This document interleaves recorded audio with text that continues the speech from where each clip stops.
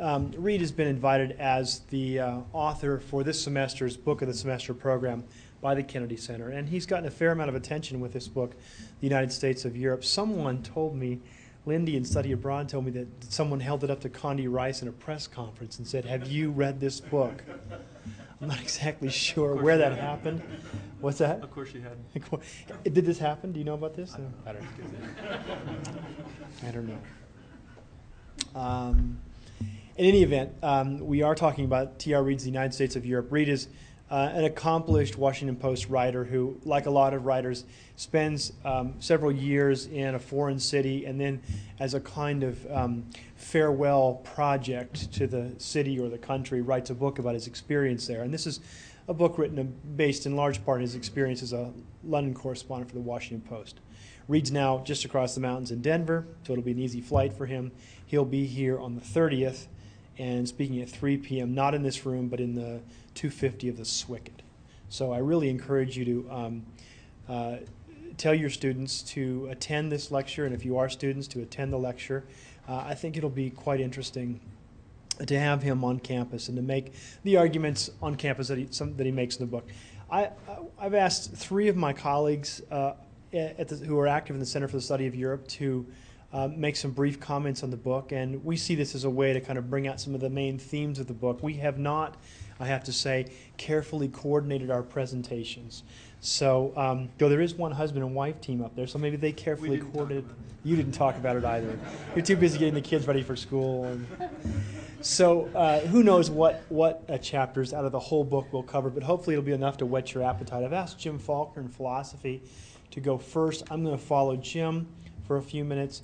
Then we'll have Anca Sprenger from um, French and Italian, and Scott Sprenger from French and Italian um, uh, in the second half of the program. I think we'll each go something like seven or eight minutes, throw out a few themes for discussion. When we do get to the general discussion, I'd like to remind you that since we're recording this, we'll use the one wireless mic, which is over by uh, on our side over there, to pass it around so that you can ask your questions in the microphone. So, Jim, will you take it away for us? I come first because uh, I'm first in the alphabet. I think that's the way this was decided. Make sure that's turned off. Sounds like, it. can you hear me? Is it working? Okay. Um, I, I enjoyed reading Reid's book. It reminds me a lot of the books in the 80s and 90s, uh, early 90s about Japan. Although I think the major difference is that those books were often generated by uh, an implicit racism that I don't find here. Um, but it serves a similar function, and I, I, guess I see that function as serving to show Americans uh, a different way of seeing the world than, than the one that they're accustomed to. I think that, for example, I think the brief history of the EU that he gives us is a very helpful thing for Americans. When most Americans think about the EU as something that's come up within the last 10 or 20 years, it's this very newfangled idea. They don't have any idea that this is actually something that's been around, an idea that's been being worked on for a very long time. And I think that for us, that history may be important as a kind of counter history to our own, a way of thinking about what it means today to be a major power in the world. His contrast, for example, of a, a nation as a center of power and a nation, as a, a nation as a producer of social equity is a really helpful reminder that there is more than one way to think about what it means to be a nation. Now, it remains to be seen, I think, whether the high taxation rates and the high unemployment rates of European countries are going to be able to survive, uh, you know, how will this work out in the long run? But I think in the meantime, it really does serve as a counterexample to a lot of claims that Americans make about how a nation must be run. And it's also, I think, very re relevant to our continued reflection on what it means to have rights. I, I guess on the one hand, uh, I, I question what confidence we should have that the final thinking about human rights was finished with the Constitutional Convention Right? And on the other hand, uh, I think we ought to be somewhat suspicious that whatever thinking is involved in thinking about human rights requires a 22-page document to spell them out. So we, I think that it, it, it, affords us a new way of thinking about them or time to reflect without necessarily already having been done for us. I think the book explains, in addition, some of the trade and political problems from an EU perspective, and I think many Americans really do need to think about it in those terms because it helps put into perspective the anti-Americanism that sometimes surprises us. I mean, we're, Americans are used to being loved, we want to be liked, and it's a kind of surprise to show up in Europe or to read in the magazines and discover that some- sometimes we're not liked. What I found interesting, though, is that the, uh, the strength of the, uh, the kinds of claims he makes about anti-Americanism throughout the book are really, in some ways, undercut by his own appendix, where he has this, uh, the Reid Anti-Americanism, what he call it, index or something like that. Um, his own and, it, and, and he says it's a subjective evaluation. His own subjective evaluation, when he starts dividing it up country by country, doesn't really, I think, support uh, some of the things that he says in the text as a whole. But in the meantime, I think it's useful because he does show how we've how we're the ones who created many of the problems that we were concerned about. And in particular, I'm really quite glad to see someone pointing out the strategic blunder uh, of underwriting the development of the EU and a lot of other things by insisting on being the military power in the world. Our insistence that no one else can have military power has cost us financially and made it possible for other people to, uh, to do much better than they would have if, they, if they'd had to have shared. So it's, it's, it's one of the ironies of our uh, insistence on being a power. And his, I think, it's also his discussion of the vote in the UN over the war in Iraq is, is a really helpful reminder that uh, we often think we're dealing with individual states, uh, when what we're really dealing with are members of a larger group who see themselves as ha- having shared interests and shared uh, uh, goals and objectives, and so that we continue continuing to think in, in terms of individual states is really deleterious to our foreign policy. We've got to think much more about how these uh, uh, these people fit together as a, a as a united Europe rather than simply as France, Germany, Luxembourg, and so on. And I think that can, if we think about the kinds of issues that, that Reid raises for us, that will help us improve the way, the ways that we exist in the world around us. However, I guess my criticisms, uh, and they're not strong criticisms, they're just uh, some problems I have. I think that he underplays the differences between the member states in the EU. Uh, and that's partly, I suppose, because he focuses much more on economics than anything else. And I don't think there's any question that the borderless uh, trade zone has really caught on well, and, and Europeans are justifiably, pr- justifiably proud of what's happened there. Um, but only in his second appendix, where he talks about the government bureaucracies of the EU, does he really begin to describe some of the messiness that at least we can uh, continue to see and that needs to be worked out if the EU is going to continue to be viable. Now, I actually think the EU is viable, it will survive, but I don't think that uh, it, could, it can survive with the, the, the structure that it presently has for a government. I think that's it's such a messy, strange thing. It's got to change. I think it is changing, but I think that that's one of the challenges the Europeans face. He gives us, and because of the way that he approaches uh, these things, I think he gives us much more the point of view of an intellectual or a bureaucrat uh, and there are good reasons for doing so. It's relatively easy to gather that kind of information, read the newspapers, uh, talk to your friends at cocktail parties, whatever. Uh, it's also the gathering of information from people who are influential. But in spite of that, what he overlooks to a, a large degree are the fears that uh, many in smaller nations like uh, the Netherlands, Denmark, uh, Portugal, these reasonable fears they have that this may mean their eventual disappearance into some kind of EU melting pot. Uh, and I think those fears are not just the fears of a crackpot fringe. That these are genuine concerns and things that attention uh, needs to be paid to them in the development of the EU. Uh, I don't know that it means much to us in terms of our relations. I don't think we should uh, try to capitalize on these differences in order to, you know, uh, cause problems or something like that. But I do think that Reid doesn't uh, doesn't talk about them sufficiently, perhaps because he doesn't think that that's really relevant to what we're doing. But in the long run, for me, the question is, so what? Um, suppose that everything that Reid says about the EU and everything that he says about the U.S. is accurate. What difference would that make? Now, I think there's no question we need to figure out better how to work with the EU, and, and he, he may help us be more self-aware you know, in and enable us to do that. Uh, we need to figure out, especially from my point of view, how not to spin ourselves into a hole by trying to be the, uh, the world's policeman. But suppose that in the end, the, the, the EU were to turn out to be economically more powerful than the United States, and indeed even militarily more powerful than the United States. Who cares?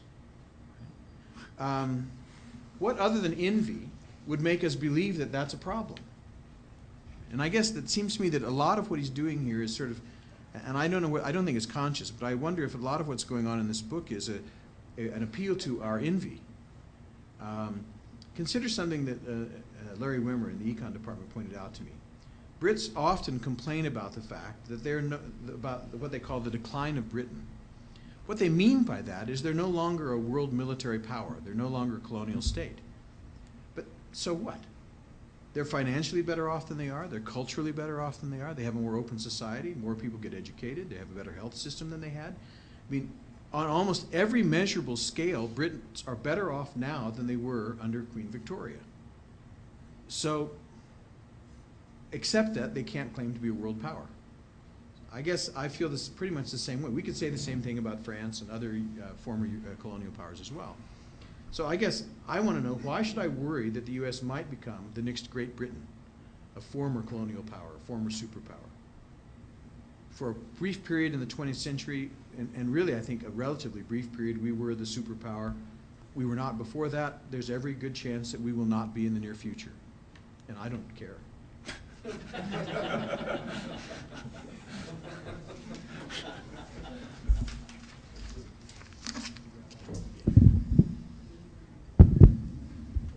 I wasn't sure if I don't care was meant, also meant the end, or that means the end. Wow.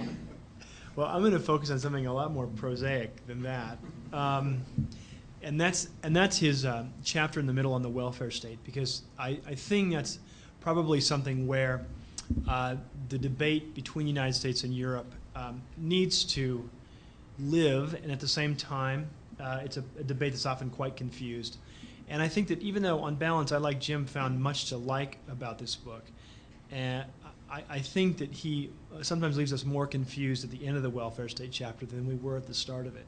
So though I'm broadly positive about the book, I want to, I think for purpose of discussion, I'd like to call to your attention some of the, I think, myths about the European welfare state that Reid perpetuates. He didn't invent them because they're out there all the time anyway.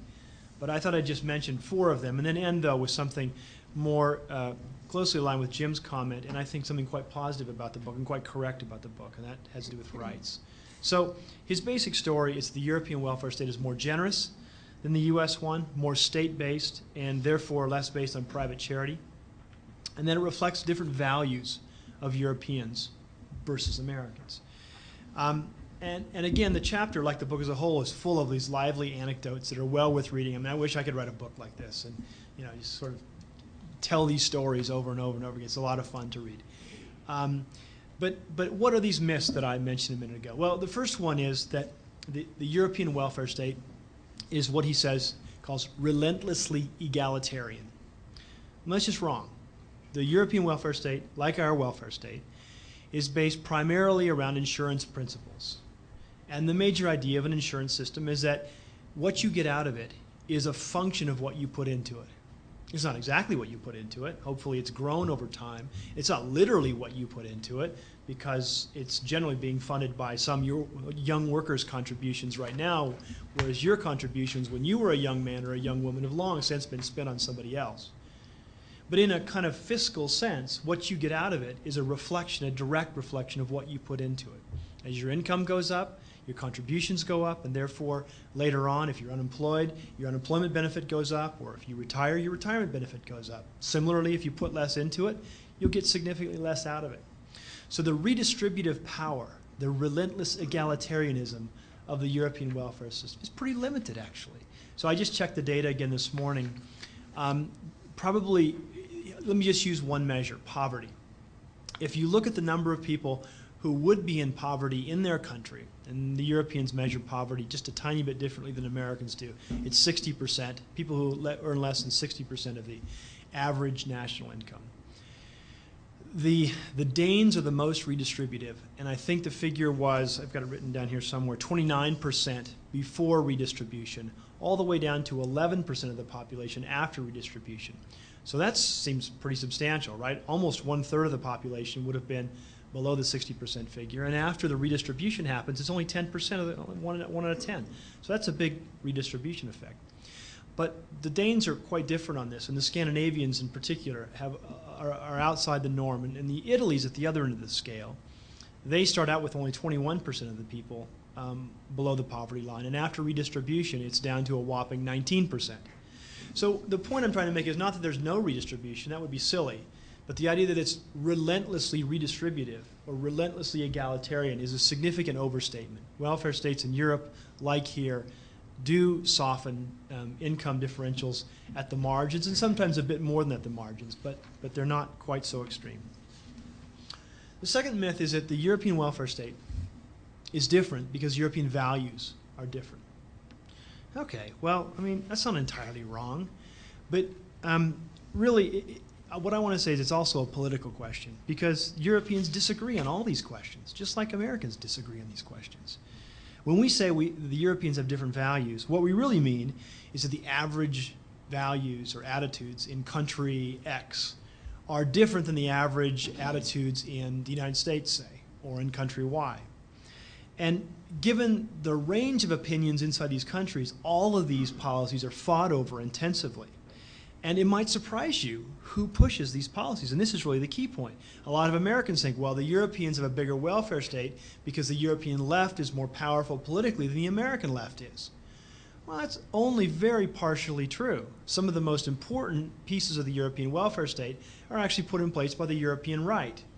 So in, in the 1940s and 50s, the Swedish employers were having a terrible time losing labor from one sector to another.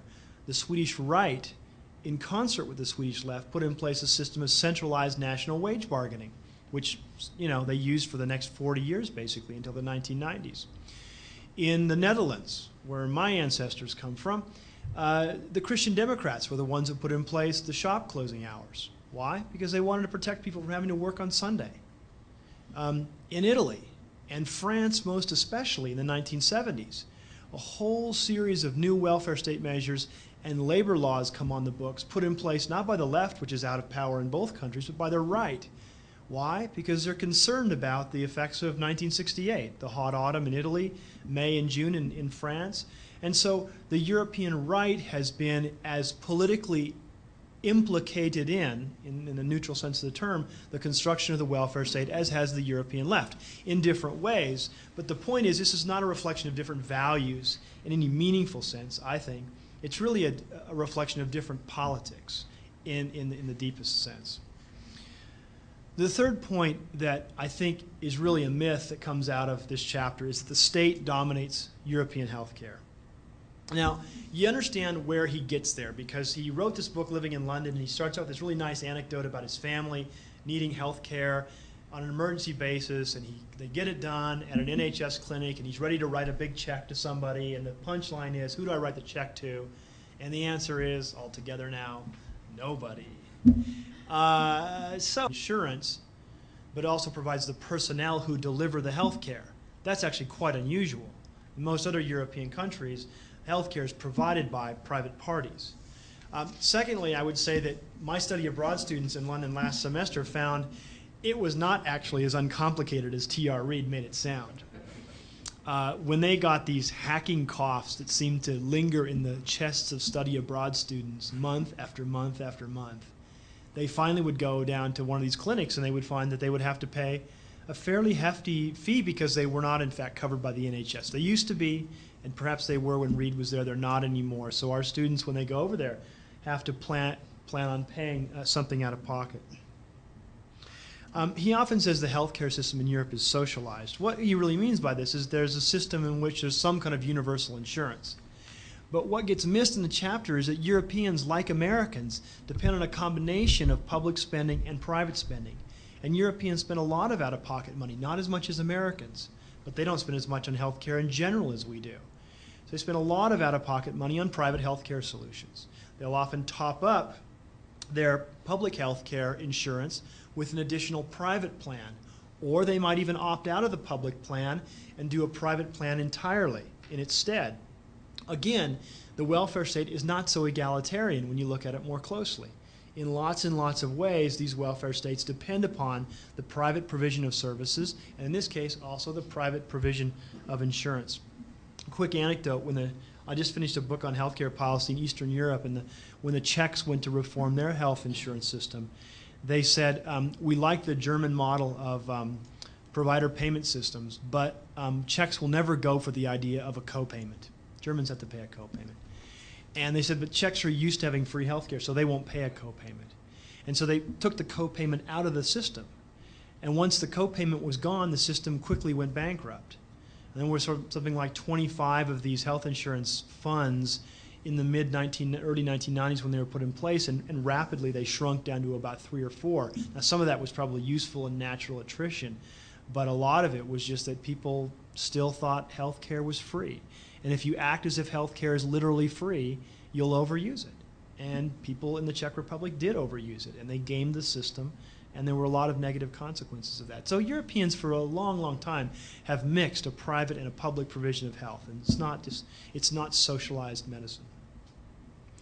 And the, the fourth and last myth that I want to talk about is that European workers and their companies pay small premiums for great health care. They get good health care, but my point is they pay for it. The French healthcare system was recently voted by the World Health Organization a ranking of a whole bunch of different indicators, the best in the world, and most of the top 10 spots are European countries. Uh, so they do have good health care, but it is expensive. They pay a lot for it. Um, and they pay out of pocket for it, and their employers pay for it too. Um, it's not all state spending. So a big issue in Europe is the extent to which the contributions that employers make to these healthcare plans are a drag on the profits of corporations. And let me point to one, um, one big significant contrast to the United States. Many companies in the United States don't pay into welfare systems at all. And in fact, they use the welfare system as a kind of wage subsidy. And the most impressive and important case here is Walmart. Walmart is 2% of the US gross domestic product. It's a $250 billion company. It's bigger than GM, GE, Ford, and IBM combined. It's not a trivial outfit. Has 1.2 million employees in the US. Um, and essentially, your average Walmart clerk makes $8.50 an hour. That translates to about $14,000 a year.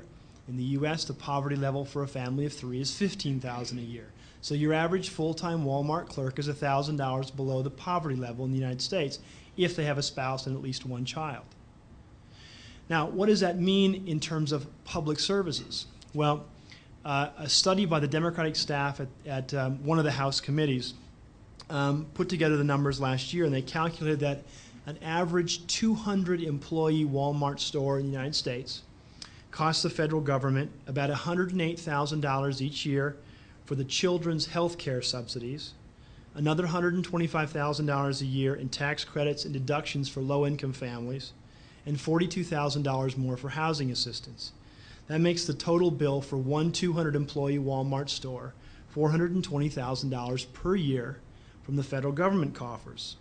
Now, if you have 1.2 million Walmart employees in the United States, that's $2.5 billion in federal spending that goes to subsidize Walmart each year. Now, state costs are also high. California spent $20.3 million on health care costs for Walmart employees in 2003.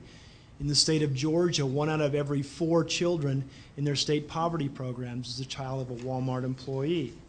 And recently in Arizona, the biggest tax breaks in the history of the state went to the corporation. It's a neat trick. You can be part of the political coalition that denounces government spending and at the same time get those jokers to pick up a big chunk of your wage bill $2,000 out of every $14,000. So you can't do this in Europe for two reasons. One, most of the country's individual laws say you can't do this. If you want to have low paid jobs without benefits, they typically have to be part time, and they have to be very part time. Uh, and secondly, labor unions are much less subject to the kind of official harassment and outright law breaking that they face in this country. So there are institutional reasons that the welfare state looks different in different places. I had a, a point I wanted to make about civil rights, but I think I've gone over my seven or eight minutes. I'm going to stop there and maybe I can sneak it in during the Q&A. So, Anca? Um, my, my topics are smaller and uh, I would say more marginal. Uh, I really enjoyed Reid's book. I think it's a gold mine of information on mostly recent European law, economic, social system.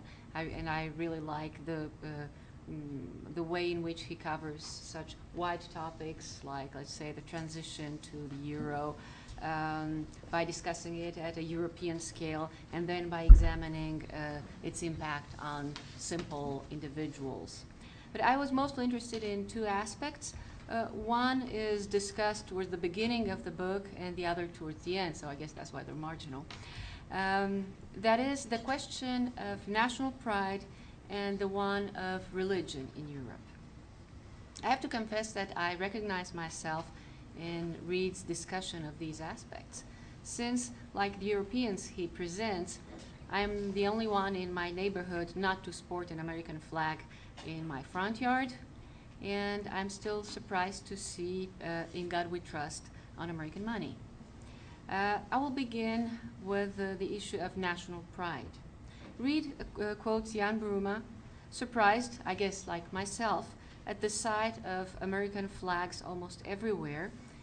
And um, actually, the, the quote uh,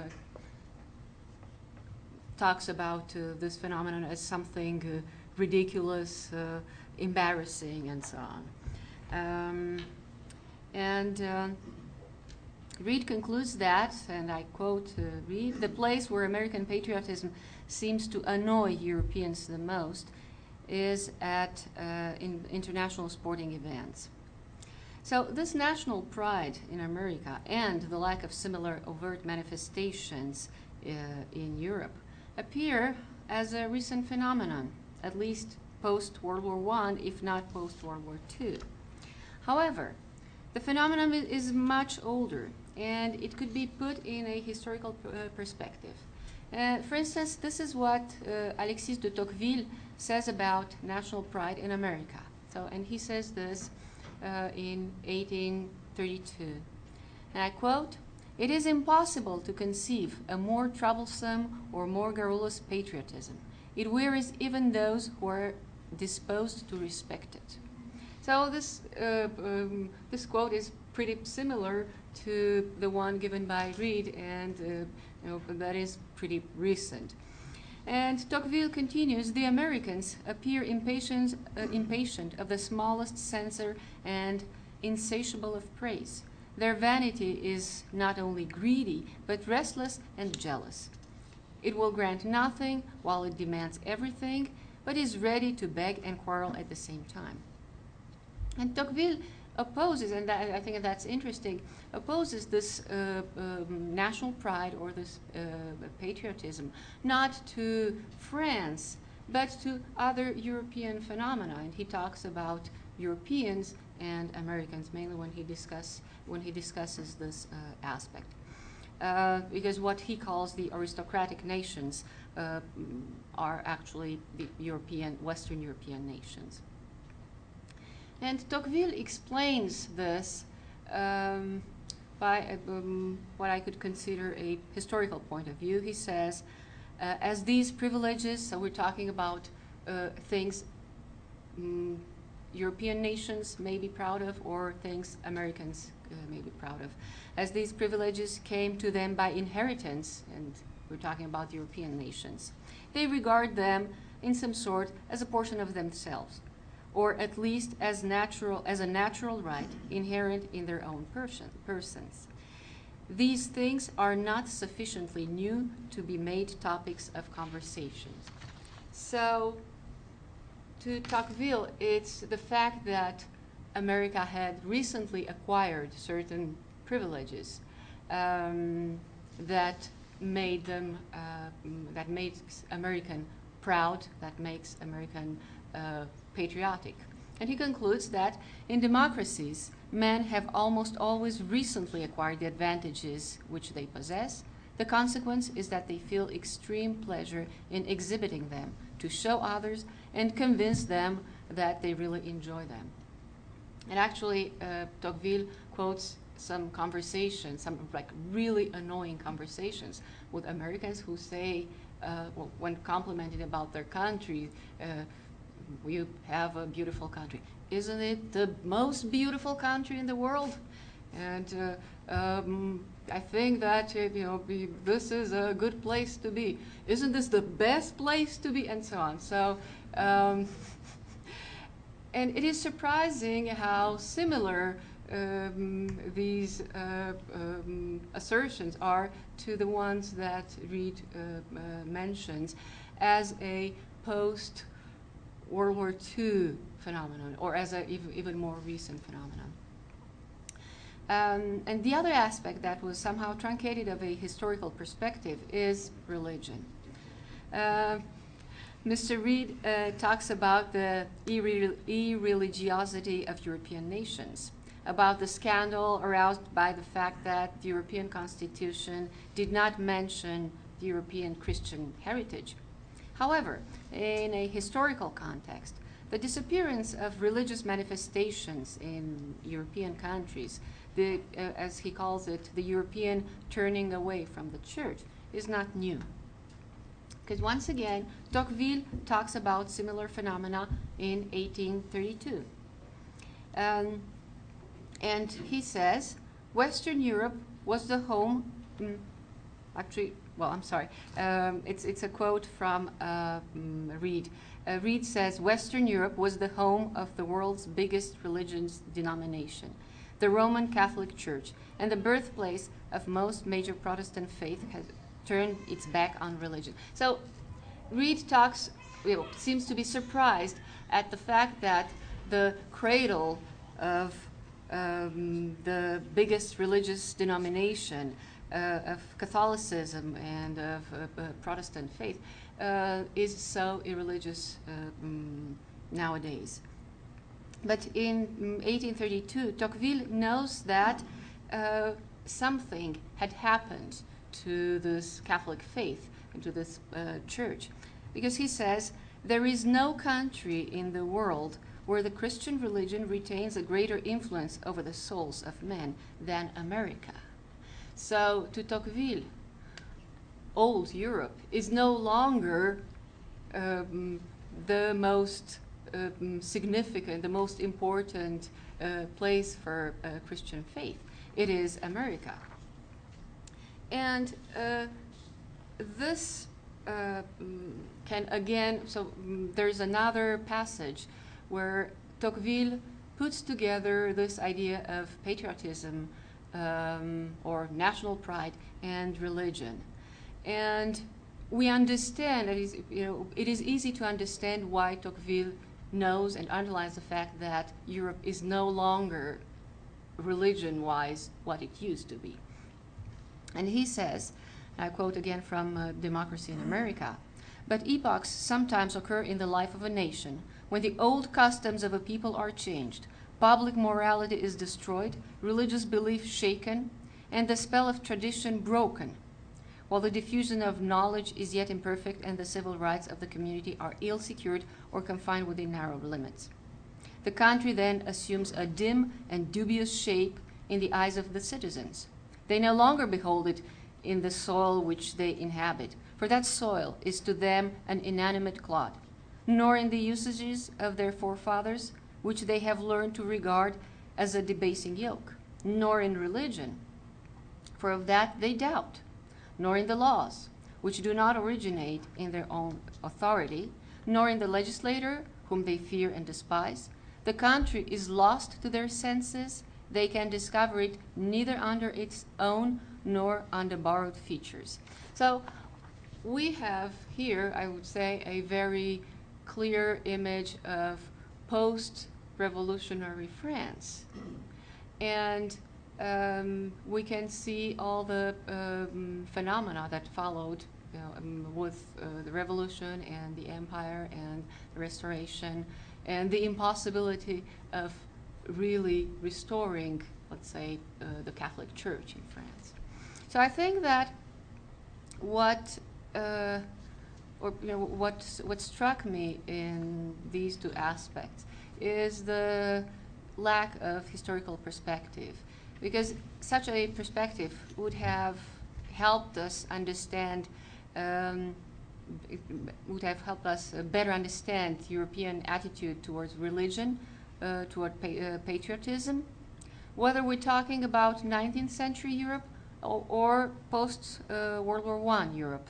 And here I think that another distinction that we need to make is a distinction between the official discourse and the unofficial uh, discourse. Because this, this is a very important uh, issue or divide that Reid's book doesn't seem to take into account. I'm talking about um, literary discourse or uh, the journalism that represents um, the official um, side of things, uh, let's say during World War One, um, and because Reid talks about patriotism and national pride during World War One, but doesn't take into account the internationalist avant-garde movement that opposed the official, uh, the official uh, patriotic and pro-war discourse.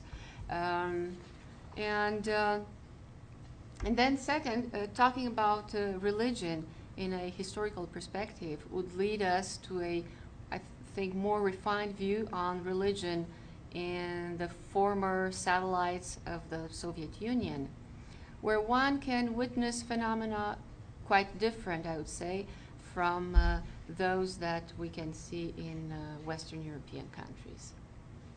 So that's, thank you. Before we go to Scott, I wanted to just uh, mention one more, uh, one more addition to our program. Brooke Durr has joined us from the Marriott School. Brooke, are you gonna, you have comments you want to make on the book as well, right? Why don't you join us up here? Actually, just, yeah, okay. And then, um, so after Scott goes, then Brooke will do his comments, and then we'll throw it open to the audience. I also think that The United States of Europe is a good book. I actually am teaching a course this semester called The Idea of Europe, and I had my students read the first chapter, which is called The Atlantic Widens. And um, I think it's a useful book, especially because it's a kind of provocation. And it's kind of the flip side of Kagan's book, I think, um, of Paradise and Power. Um, and it seems like he has it in mind in a couple of places when he's writing. Um, I sort of concur with my colleagues, and I'm trying to figure out what I have left to say in my presentation that hasn't already been covered. Um, but um, I, Wade's um, talk resonated, uh, the idea that um, his presentation of uh, the social welfare state is full of myths. I think that's quite clear. If anybody's lived in France, for example, it doesn't quite happen the way he says it does in England. And um, I also think that there's a there's a um, lack of historical perspective in his in his rendition of the formation of the European Union. Um, the United States of of Europe, or the idea of uniting Europe, goes back at least to the Middle Ages, um, but if not the Middle Ages, the 17th century. And he seems to think, um, I'm sure he knows this, but he doesn't give any sort of indication of it, um, that it starts um, with the Second World War. Um, and even the name, the United, the United States of Europe, attribute, attributes it to Winston Churchill, and you can find this name um, quite often in the 19th century, for example. Victor Hugo is famous for using this, Les États-Unis d'Europe, for example. So um, I'm sure he knows it, but there are no footnotes and no indications of that. Um, as a literary scholar, I guess I could focus on what makes the book appealing to a wide audience, um, and I think that has to do with his highly readable prose and anecdotes, as, as Wade and uh, Jim have said, and, but also a sort of personalized narrational style. Um, it's quite uncanny how he's present at all these uh, significant events, and it almost seems like a kind of stylistic uh, tick, um, or a, almost like he's writing a novel. Um, or even maybe a cinematic style. For example, when he presents, um, he presents his um, story about um, Jack Welch, the former CEO of of General Electric, and Mario Monti, the head bureaucrat in charge of antitrust law.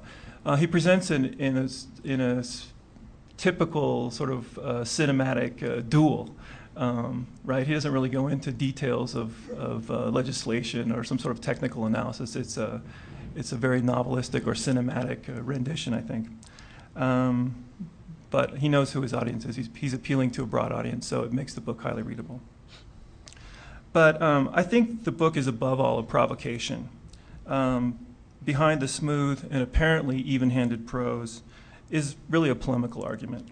He's definitely on the side of Europe in this story. He thinks Europeans have a better way of life than we do. He thinks that Europe's tendency toward the welfare state is um, the right approach to postmodern governance. He thinks the European anti war, anti power approach to geopolitics is the way of the future. Although he does defend the American way of life here and there.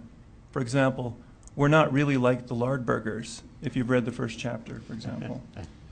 We're not really as dumb and boorish as those characters in Jerry Springer the opera. Um, but the defense, or let's say the even handedness of the defense of the American way of life, seems like a rhetorical strategy more than an authentic defense, to me anyway. I'm reading between the lines here.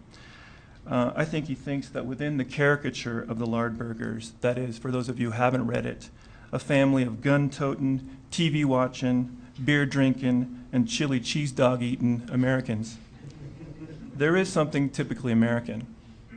We're fat, we're lazy, we're ignorant, we're gun toting, we're violent, but most of all, we're proud of it. He paints a stark and somewhat unnuanced picture of Americans, but primarily because he knows that as a journalist, provocation attracts attention. We're sitting here talking about the book right now. Um, and that it's a way of having a mass audience uh, take a look in the mirror, because there is a certain truth to what he's saying, I think. Um, I think the book's biggest weakness is its lack of a detailed analysis or critique of Europe's problems. Problems that may, in fact, call into question his central thesis, which is that America is on the decline and that Europe is now, or at least the next, economic and geopolitical superpower to be contended with. China's right up there, but Europe's positioned there now. And some of these critiques have already been covered, so I'll sort of skip to the ones that I think that maybe haven't been. Um, one is that um, in a lot of these arguments, it seems like he equates Europe's um, bureaucratic muscle with the actual power of the European Union. That is, um, the argument about Jack Welch and Mario Monti, for example, uh, which is basically a Euro- bureaucratic move, stands in for sort of geopolitical and economic power. Um, that might be the case now. It's not clear that it will be over the long term, especially with some of the problems that, that Jim mentioned. For example, uh, the high labor costs, um, the high price of doing business in, in Europe, um, high unemployment, et cetera. Uh, it's, not, it's not clear whether the EU won't have to make more concessions to the marketplace over time. Um, the other, I mentioned Kagan earlier, uh, the other argument that he seems to be making is that, that to be a, a, a powerhouse, a superpower, you don't really need to have a military. Um, I'm, I'm not an expert in this area, but I think the question is still open. He seems to assume that's the case. Um, he talks about, and this actually seems like Kagan's language, he talks about Europe projecting economic power. Kagan talks about their lack of ability to project military power, for example, uh, in the Balkan crisis of the 90s. Um, he talks about Europe's soft power rather than hard power. Um, again, I think these are, these are open questions that will, will be exposed over time. I think one of the biggest issues that he doesn't say word one about is the problem of Islam in modern and contemporary Europe, um, with 8 to 10 percent of the population in France um, being of Muslim origin, um, in Holland, Belgium, etc. Um, I think it's a, I think it's a big issue that needs to be addressed in um, in a sort of long view or long-term view of Europe's future.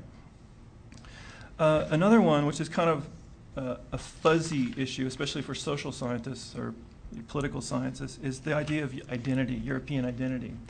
Uh, what does it mean to feel European? Um, what is European identity? Does it have any substance, or is national identity stronger at the end of the day? Um, these are fuzzy issues, but I think they're extremely important ones, especially in times of crisis. To whom or to what political entity, entity are you ultimately loyal? This often comes down to a question of identity, which often comes down to a question of feeling. The, the, examples he gives that the Europeans are somehow generating a European identity and a European feeling, to me, strike me as quite trivial, actually. Um, one is this idea of Generation E. He has a whole chapter on these young 20 uh, somethings who are in their internet cafes around the various capitals of Europe and who seem to identify with other others of the same generation in other capitals. But there are lots of young uh, Europeans out in the hinterland in provincial cities who don't, necessarily have that kind of European connection. Other examples are like Eurovision, uh, this, this concert, right? Somehow that's generate, generating this pan-European feeling. Um, doesn't really strike me as that serious of a, of a point or evidence of that. It seems like um, historically what generates that kind of common bond uh, and common identity is um, some sort of conflict, maybe a military conflict or some, some form of violence, actually. Um, so maybe, maybe Islam will be the issue, who knows? But, um, but I don't think that the examples that he gives actually give any substance to this notion of a European identity. Um, the last little point, then, just to save room for um, Brooke, would be his. Well, actually, I already covered that, so I'll just stop right there. Thank you. I, I'm sorry. I thought it was at 1:30, and I was uh, eating lunch with the ambassador from Rwanda. So actually, I'm not sorry because mostly conversation was mostly in French, so you can see. Um, I I wish I were here to have uh, heard these uh, really erudite uh, presentations on uh, book, uh, which essentially was a business book. So that's what I'm. uh, journalistic, and that's the kind of book you write if you want to generate more consulting. so you have a kind of follow-up speech menu or something. But um, I really agree with the last two speakers. There are parts of it I really liked. I like the fact that it uh, was provocative and got our attention. I'm so sick of uh, working in Europe and kind of coming back, and my colleagues think I've been on vacation, but if you go to Asia, it's a serious business trip. so, I mean, so in a way, somebody needs to do this kind of stuff, you know, even though it's a little bit kind of overdone. It was way overdone in a way. Um, and I agree. I, I mean, part of me kept wondering whether he had been an expatriate so long he didn't understand the United States anymore. I think that's part of what Scott was saying. I, I was recently uh, at a dinner uh, in Lyon where I was teaching in February in a very bourgeois family, and uh, at dinner were psychiatrists and doctors and intellectuals. And, um, you know, they pretty much recognize that 40% of the American population, from their point of view, is fairly sophisticated even though they have trouble with the 52% that elected George Bush. But it's just not, it's just not so polarized as he's making it sound. And I appreciated Scott's comment. Let me tell you a couple of things as a, a business school professor that I thought were sort of out of it, uh, just since that's the perspective I can talk to. Um, strategy is about defining your competitive advantage in unique and not easy to imitate ways. And um, so, a good strategy for the University of Utah is not to be uh, the opposite of BYU, it's to find something you can do at the University of Utah. And uh, a good strategy for Europe is not to just be the opposite of the United States. Um, so, in terms of strategy, the one point that I thought was an interesting one that could really be a global competitive strategic advantage is, in fact, if you can convince the rest of the world that the military option is totally illegitimate, and the United States has built up the military option as the last part of its repertoire of pressures, you know, you got something there. You, you really got sort of a competitive advantage. And the chapter on the uh, European militaries was a little scary. so that's an interesting twist. Currency is much more complex than uh, euro dollar. It has to do with debt. You know, it has to do with the Bush decision to not support the the dollar in the same way that it's been supported. In, I mean, it's just a much more. I hated the chapter called "L'Europe qui gagne." Uh, I mean, they own companies, we own companies, the Chinese own companies, the Japanese own companies. 35% of the Airbus is built in the United States, 35% of the Boeings are built in Europe. you know, it's just so complex. I, I ran the Johnson & Johnson Advanced uh, Management Program in Switzerland. Uh, J&J owns lots of European companies. Nobody knows they're J&J companies. They, they run the money through Zug. They run it out through Brussels for tax advantages, and it returns home. And the Europeans do the same thing. So, you know, it, that's the global economy. If you take the top six or seven uh, players in any industry, they all pretty much do the same thing, regardless of their country of origin. Uh, they have different cultural differences, very interesting ones, but on global business point of view. Um, one of the uh, one of the parts I dislike uh, about the book in making this sort of Europe-U.S. polarization argument is uh, I think both continents are very worried about Asia. And, and unless you bring in the Chinese military threat and you bring in the sort of uh, Chinese, Japanese, Korean business threat, you really don't have the picture. It's not like two continents squaring off. I mean, there's a, there's a global thing going on, and China is a very big player. Uh, that sort of looms behind a lot of decisions. And um, so, I mean, those would be just some comments that I would make from a business point of view, and I'll just stop there. Okay, we're gonna, we're gonna turn some time over now to the audience to ask any questions you might have. It might get a little bit awkward trying to pass this microphone around, but, but uh, that's what the Kennedy Center would like us to do. So we're gonna try to comply.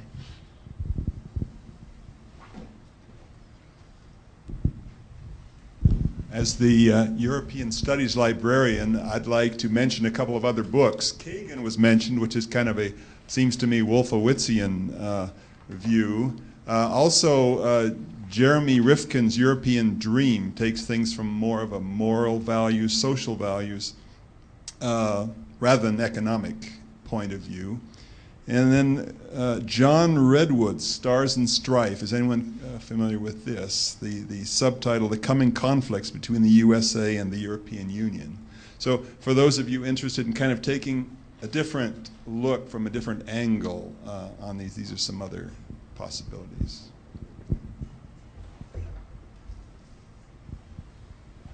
I actually looked at the Rifkin book. It's it's it has this sort of anti-American slant to it as well, showing Europeans as T, uh, tone is very. uh huh.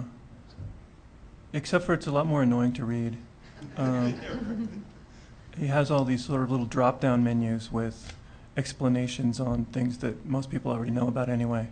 Um, so if he could have edited that part out, it might have been more interesting to read. My question is actually addressed to uh, you on the end from the business school, um, and also the well, all of you could probably answer it. But um, I was thinking how Europe and the idea of Europe, United States of Europe, and the United States of America being together corresponds with Victor Hugo's actual claim. well, What, he, what Victor Hugo saw for the future in his essay L'Avenir was that there would be a United States of Europe and a United States of America who would be in this idealistic brotherhood. Um, how would something like that uh, work in relation to this this uh, economic and military opponent that might be forming in China and Japan? Uh, just I'll just try, and then my colleagues might have a much more. Uh, y- y- you know, my sense is um, maybe it's best to illustrate it this way. Uh, if you're going to build a hard drive, cost you twenty dollars an hour in Europe, cost you sixteen dollars an hour in the U.S., cost you twelve dollars an hour on the Malaysian Peninsula, and it cost you seven fifty in China to build the exact same product.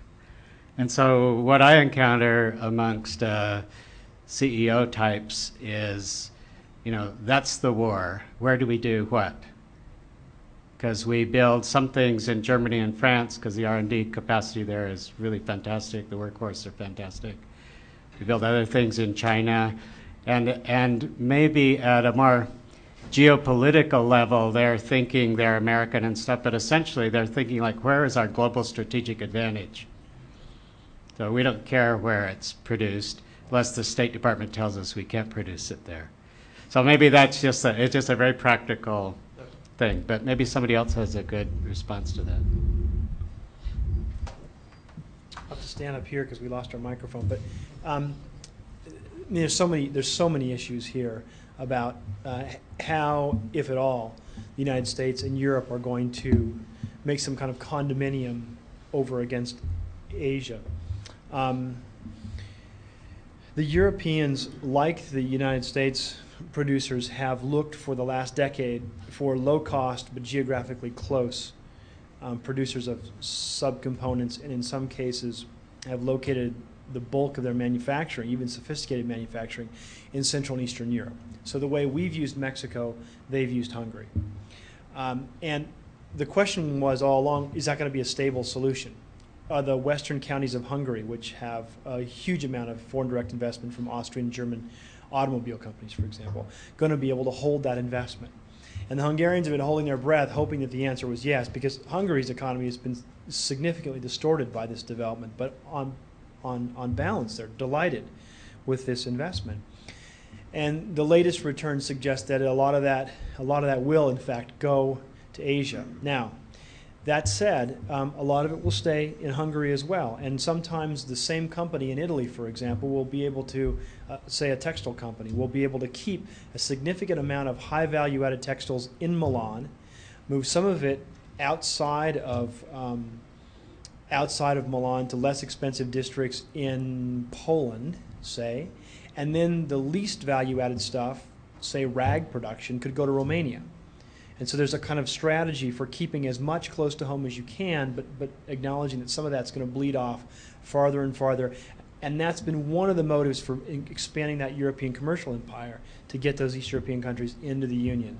There's a big demographic problem that, that Reid doesn't talk about much. And for a lot of people, that in-migration from Hungary, Poland, the Czech Republic, Romania is going to be the answer to the fact that Europeans have stopped having babies. So. I just wanted to add one really quick PS. I like the GE Honeywell case. Uh, and I, here's what I liked about it. Uh, in the United States, GE is a bellwether company. It's like the trendsetter of management practice.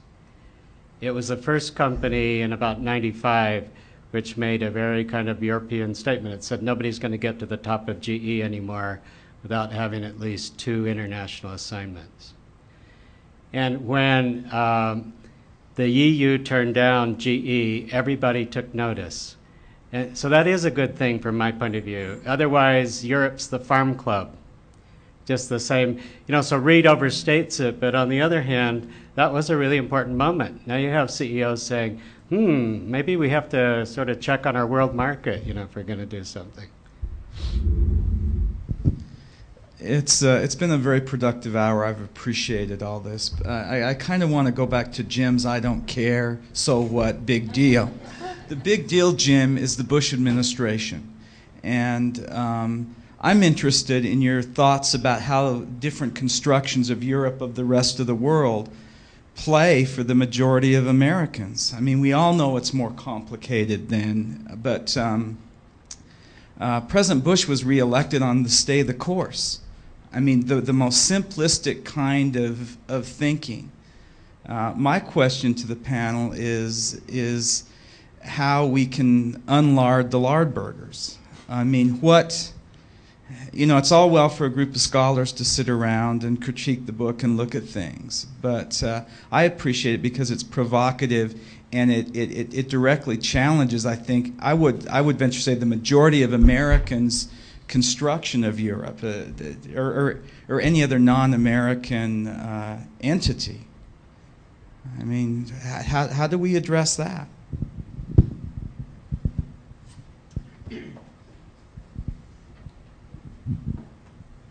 I, I don't have any. Um, I don't have any real answers to what you have to say. I'm, after all, a philosopher, not a. well, well, no, it's not that I don't. I care about a lot of things, but I don't care whether we're first or second. That's what I don't care about. I mean, it doesn't matter to me, or third or fourth. As long as we're I think there, it don't- matters to Americans, and I think they're they're politicians on the right who can make it matter. That's right. Um, But, but I guess it seems to me that in the long, I mean, here's uh, the practical side of me, which is, there's not much of me over there, but Um, the practical side of me tends to believe that in the long run, uh, what will really matter is economics. Right? And, and that the economic reality is the kinds of things that we see in the GE Honeywell examples and not the kinds of things that you see in a political campaign, which four years, three years from now will be completely different. Um, I, I actually think that we pay too much attention to some of that and that what will really dictate what happens is what happens economically between us. Now, I think there's there ought to be more than that, but I think that at the base, it's really an economic question more much more than it's a political question. The political questions will get driven by those economic questions.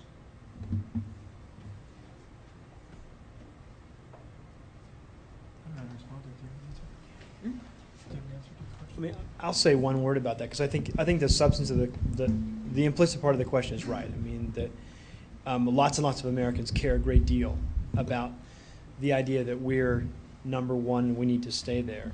There was a book, one of, one of these books that came out in the 80s was called Japan is Number One, right? It's a really, really interesting book talking about how Japan could be number one and what that would mean psychologically for Americans if that were the case. I, I, so I agree with the premise of your question. What I observe a lot are two framings of the way Europeans are that are probably not very helpful for Americans, as Brooks is trying to understand what's going on over in Europe. One is that they're secular, and the other is that they're all peaceniks. And I think it's really important for American audiences, especially political moderates and independents who don't exist in Utah but do exist in other states. I mean, it's absolutely no, it's absolutely true. I mean, Republican voters self-identify as conservatives in Utah. Democratic voters, to the extent there are some in Utah, 20%, self-identify as liberals. There, there's no middle in Utah. But there are moderates around the country, and one of the arguments you can make on security is that the Europeans have done a number of very, very difficult things for them in the last 15 years. They fought a war in Kosovo without a UN resolution because the Soviets would have, the Russians would have vetoed it. Uh, Germany changed its constitution in order to allow out of area operations. Uh, the German government survived the no confidence vote by a couple of votes in order to send soldiers to ISAF. Um, the Europeans have more peacekeeping troops out there than the Americans do. It's not a trivial contribution.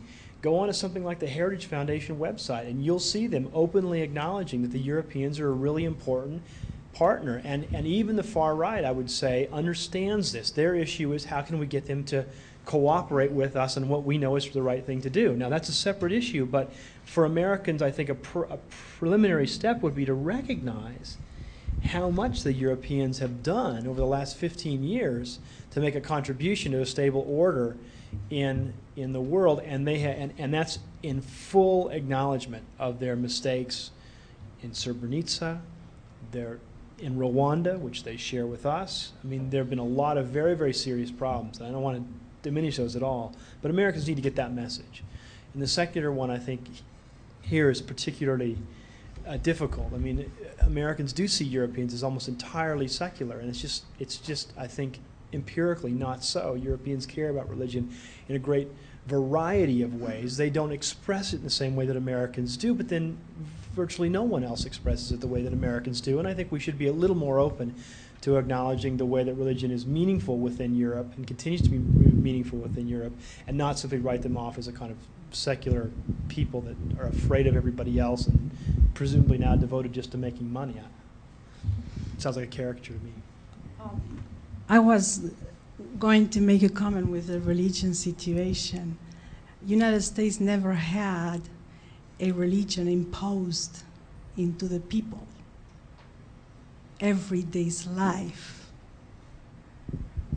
And uh, at least the Catholic um, countries, even France, Spain, Italy, and Portugal have been, is, is, it was a forced religion by the governance.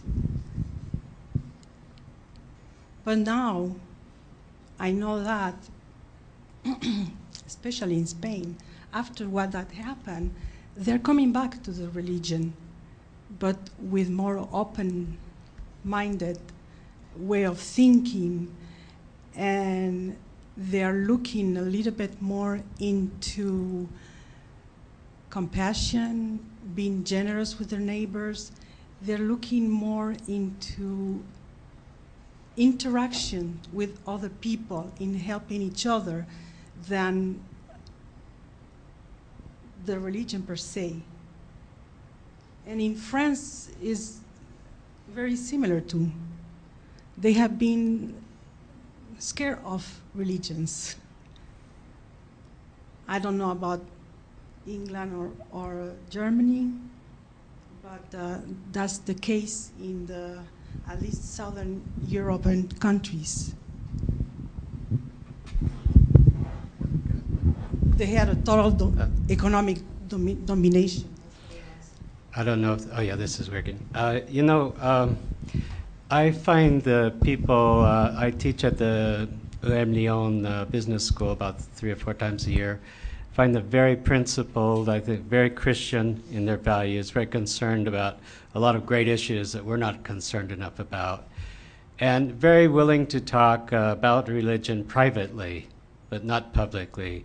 And Yvonne probably knows a lot better than I do, but you know, uh, the mission president in um the Swiss Geneva mission, which is where the Lyon is, is so happy that I'm bringing 15 BYU students to UM Lyon in uh, April. Um, and their particular mission is to just be normal people, not dressed in black, not with three wives, not, not weird, just be good students you know, uh, so that, and just be normally inquisitive because really there's a huge public affairs thing, and they think that uh, one of the things going on right now is do we do Mormons treat their women the same as Muslims do? So that's one of the big questions going on in the sect uh, committee. So I mean, you know, just all these misperceptions, and uh, you can just see, I think, and you re- referred to this. I mean, it's just like missing each other. But actually, if you can get down to talking about it, I mean, people are people and they respect you. No, I just wanted to come back to Phil's question for a second, how to, how to get the message out. And um, after Wade's comment, I was thinking Reid's book actually perpetuates that myth as well, that, um, that Europe is um, more peace-loving than the Americans and that you can get away without um, having a real military. Uh, he seems to buy into that idea. And, um, and so if this is going to be a, um, you know, a book that's bought by a lot of people, sort of general Americans to whom you want to get your message out to, uh, I don't think this particular book is going to help that much on that on that particular issue. Um,